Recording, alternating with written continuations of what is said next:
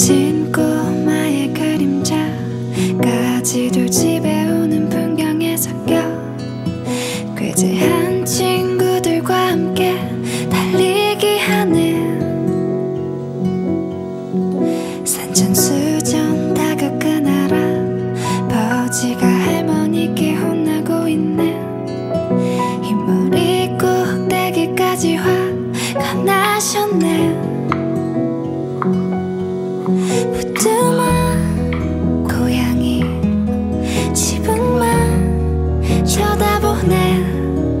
옆에 강아지도 함께.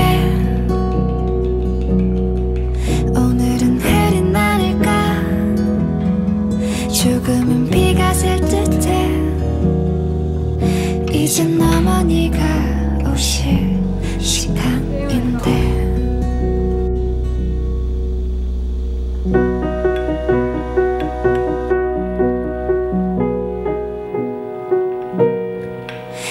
tell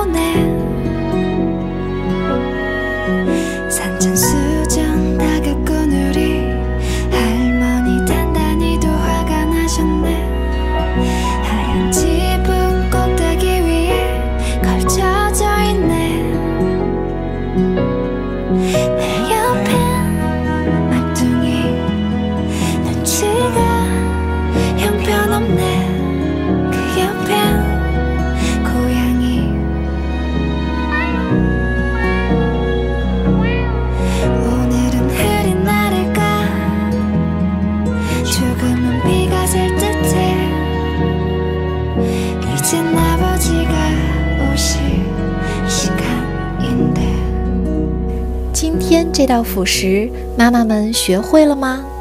关注宝宝辅食微课堂，了解图文版的制作步骤，还可以根据月龄查看更多适合的宝宝餐哦。快扫一下二维码，关注我们吧，让宝宝吃得更健康，身体棒棒的。기분